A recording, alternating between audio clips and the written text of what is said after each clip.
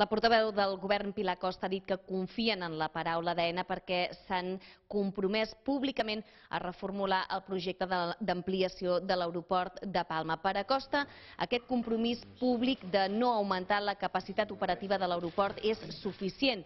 No obstant això, una setmana més ha recordat que l'aeròdrom és una infraestructura estatal. Per aquest motiu, ha tornat a reclamar la cogestió dels ports i aeroports de les Balears.